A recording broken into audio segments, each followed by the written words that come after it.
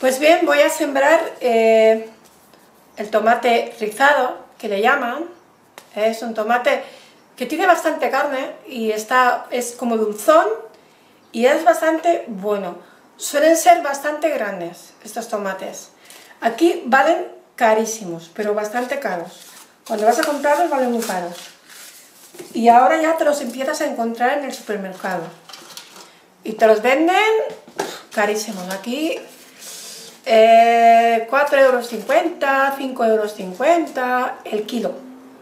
Pero es que no os penséis que llega el verano y bajan los precios del tomate, no os equivoquéis. Y una leche que no los bajan. No los bajan y siguen eh, poniéndolos al mismo precio. Entonces, eh, aquí en Francia hay mucha costumbre de sembrar. Entonces, la gente que no... Bueno, si tienes un balconcito, la gente siembra en su balconcito.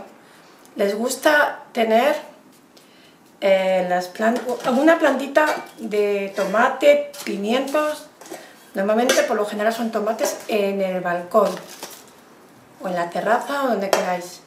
Y si no, la gente, pues, eh, bueno, pide un huerto si tienes la, suerte que te lo dan, pagando, por supuesto, eh, pues la gente siembra.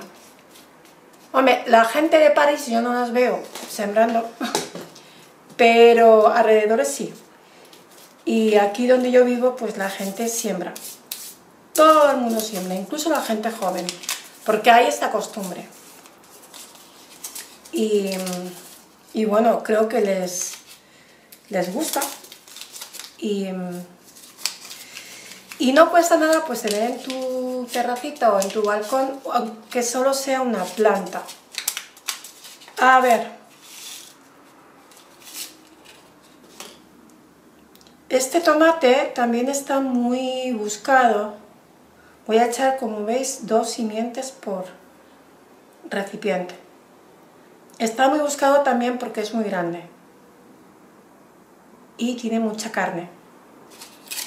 Entonces, eh, para las ensaladas o comerlas con un poquito de aceite está riquísimo, muy bueno. Yo normalmente estos tomates me los como con aceite de oliva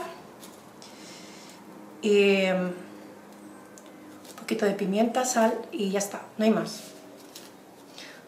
Pero estos, los de mi huerto, los que no, bueno, es que ya no compro, porque es que no saben a nada. Que compréis en el supermercado ya no sabe a, a tomate. Eso, de hecho, yo soy mucho de oler, por ejemplo, la fruta cuando la compro, la huelo antes de comprarla y no, no huele a nada.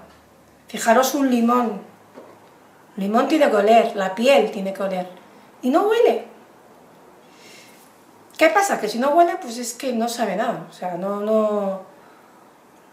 Yo, por ejemplo, de mis tomates, solamente cortar la hoja ya huele. Se me queda la mano con un olor, pues eso, a tomate.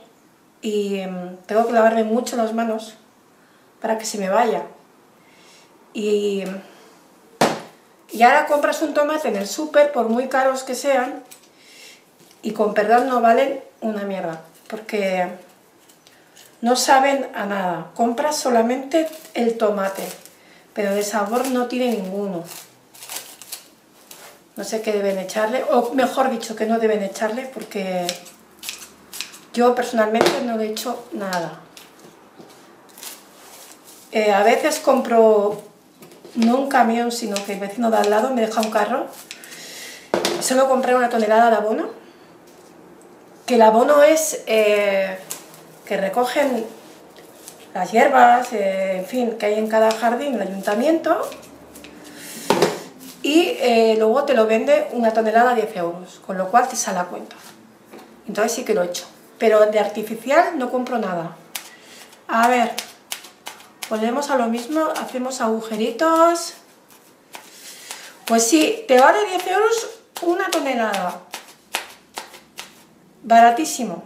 Pero claro, también le sale barato al ayuntamiento porque eh, lo tienes que llevar tú, todos los, por ejemplo, uno, una vez por mes te recogen todas las sobras de las, en fin, de, lo que tengas en el jardín y te lo recogen. Luego ellos lo trituran todo y hacen compost. Pues bien, esto lo voy a poner junto a lo otro que tengo para que germine. Pues bien, estos tres, aunque sean del mismo color que estos, el recipiente, son de variedades diferentes, pero como los he marcado, están marcados con un retulador por aquí, ¿veis? Pues sé lo que son unos y sé lo que son otros. Y nada, con ganitas de ver todo esto de aquí a una semana, eh, que va a ser alucinante. Para mí es el mejor momento, incluso más que cuando me sale eh, lo que siembro. Es un placer verlo. Pues venga gente, chao.